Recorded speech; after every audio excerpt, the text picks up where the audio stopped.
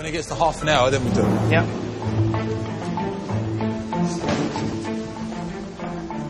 Three hours to do something like this. This is extreme. Needs to be brave.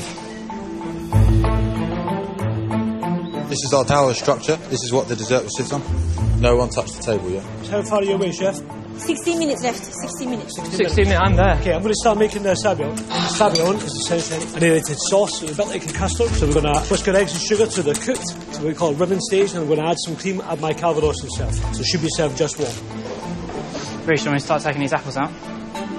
So this is uh, an electric spray gun. We've made a mixture of white chocolate, cocoa butter, and we're going to spray our apples with green white chocolate spray. This will give it like a sort of velvet look on the outside of the apple. I'm just going to start building the dessert. So we've got an apple compote, our apple puree, a little Freon, a parfait blackcurrant fluid gel to give us that lovely sharpness, and then a speculoos to go on top. We're going to dip it in a green pectin glaze so it actually gets like the shine of a fresh apple. Do you think we need to dip them twice? Try and cover it a bit. Two minutes. Two minutes. Two and a half minutes. Two and a half. Get it on, carry on, carry on, carry on. Six. Six on each one, five on the first one, and one on the plate. Whoa, whoa, we need to spray red on these. No, no, leave them there now. It's just some red cocoa butter, just to emulate the pink lady apple that we've used.